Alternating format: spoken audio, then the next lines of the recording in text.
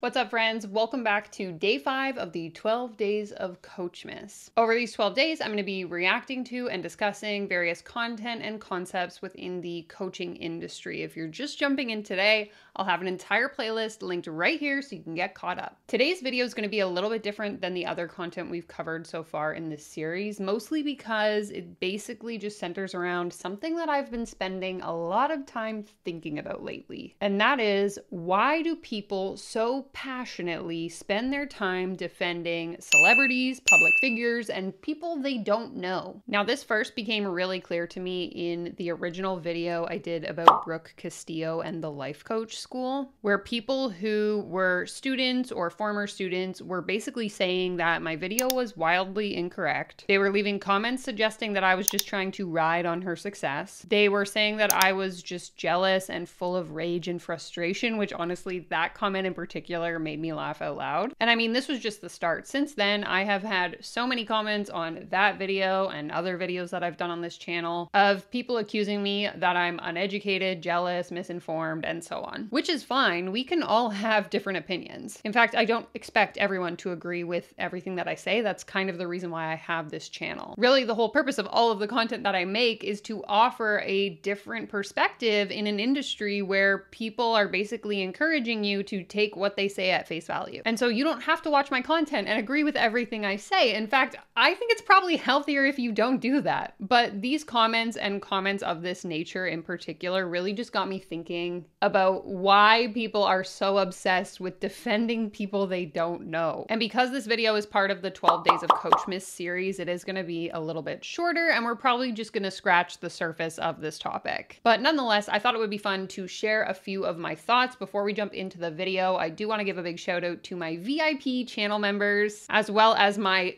two billionaire tier members, Gym Lessons and Reaction Therapy. Thank you both so much for being here. And on that note, thank you to all of my channel members as well as my subscribers. I appreciate each and every one of you who takes the time to watch my content so, so much. Now let's go ahead and jump right in. Okay, so first and foremost, the biggest thing I think is at play here is the nature of parasocial relationships. And if you're not familiar, a parasocial relationship is basically a one sided relationship where one person extends the emotional energy, interest, and time in the other party when that other party is completely unaware of the other person's existence. Just like how half of TikTok seems to be obsessed with Taylor Swift and they like think she's their best friend or big sister and they're so invested in her new relationship Taylor Swift doesn't know you and she doesn't reciprocate those same feelings. The same goes with coaching programs and the people who run coaching programs and those who invest in those programs. In my opinion, the coaching industry is basically founded on the nature of parasocial relationships. Most coaches aren't just selling a service, they're selling a lifestyle and a brand and an entire identity that's wrapped up in that. And while this can be a powerful way to build connection with your audience, it's also a really gray area that kind of blurs the lines between professional relationships and personal relationships. And I think the type of content that a lot of these personal brands share or coaches share sort of fosters this feeling of closeness and a sense of connection with the audience. And so, what I feel this does is it encourages followers to not just admire the person's expertise, but also to desire to embody their entire lifestyle almost. I see this person as successful, therefore, I want to embody their behaviors, their lifestyle. Therefore, this person and me are one in the same. Therefore, any critique of them reflects a critique of me. And when someone has something negative to say about them, they're saying that negative thing about me. It's like we internalize the criticism and the feedback that that person is receiving because we see ourselves as them. And so I think it's this point that really leads into the psychology behind why people become so defensive about these people they don't know. First and foremost, being the cognitive dissonance that people experience when they hear negative criticism about someone that they admire. In the context of facing negative criticism about a coach or mentor that you admire, several factors contribute to the cognitive dissonance that's experienced.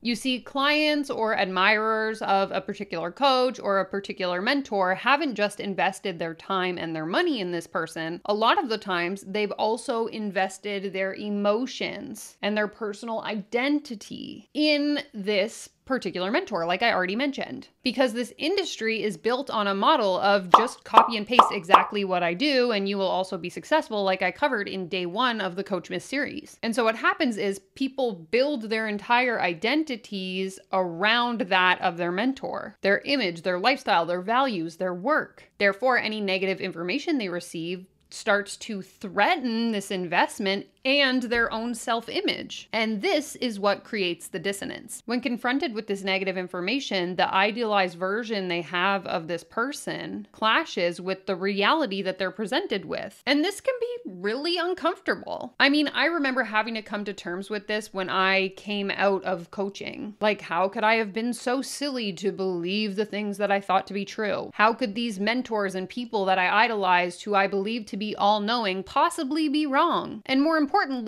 what did the fact that I believe them to be correct say about me as a person? You see, belonging to a particular community can form a significant portion of a person's identity. And admitting that negative information about that identity might be true can really start to challenge large pieces of who we thought we were. And this causes us to not only become defensive, but to start to question our own identity and can lead us to questioning what it is we even believe in. I mean, we hear this story a lot in people who leave their religion or people who are ex cult members or leave any other kind of high control group. And listen, I could go on forever in this video if we also thought about covering, you know, social media or traditional media and its role in continuing to perpetuate these behaviors. We could dive into the concept of being in an echo chamber, or having certain expectations of those who we admire, or even our innate desire to be a part of something bigger than ourselves. But alas, I think that's a task for another day, another series, another video entirely. My purpose with this video as a part of the Coachmas series is to simply just get the conversation started. Why do we idolize certain people? Why do we believe that they can do no wrong? And I mean, I think there's also an interesting conversation to be had about the reverse, in that when we think about people we don't like, we tend to think that everything they do is negative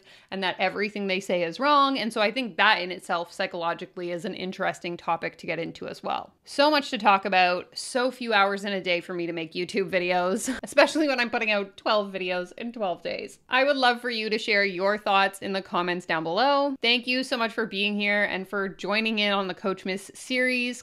Coachmas Day 6 will be coming at you tomorrow. I'm going to leave you here today with Coachmas Day 4.